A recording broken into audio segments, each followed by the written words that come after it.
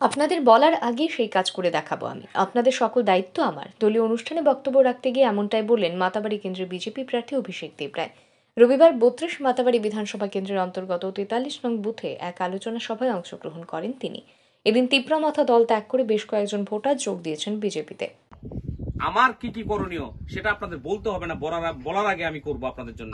আগামী পাঁচ বছর, আগামী পাঁচ বছর আপনাদের সুখ, আপনাদের আগামী পাঁচ বছর আপনাদের সুখ, আমার সুখ, আপনাদের দুঃখ, আমার দুঃখ, আপনাদের ডেভেলপমেন্ট আমার ডেভেলপমেন্ট আপনাদের মান সম্মান, আমার মান সম্মান, আপনাদের সমস্ত কিছুর দায়িত্ব আমি নিলাম আজকের এই উঠান সভা থেকে।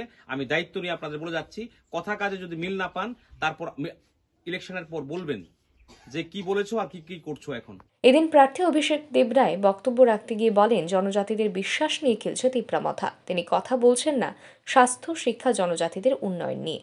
গ্রেটার তিপ্রা ল্যান্ডের দাবিকে নিয়ে জনজাতিদের বিশ্বাসের সঙ্গে খেলছেন তিনি। পয়লা জাতিগুলা পার্টির কথা যদি বলতো তাহলে তো হসপিটাল উন্নয়ন করতো হসপিটাল তৈরি করতো হসপিটালের টাকা কোথায়? তাহলে এই বিষয়গুলো আপনাদের চিন্তা করার বিষয় আছে। জনতাদের উন্নয়ন চায় একমাত্র ভারতীয় জনতা পার্টি। একমাত্র ভারতীয় জনতা পার্টি চায় জনতাদের উন্নয়ন জনতাদের সার্বিক বিকাশ। এক ত্রিপুরা শ্রেষ্ঠ ত্রিপুরা, বিভেদের রাজনীতি ভারতীয় জনতা পার্টি করে না। তো আপনাদেরই দায়িত্ব নিতে হবে।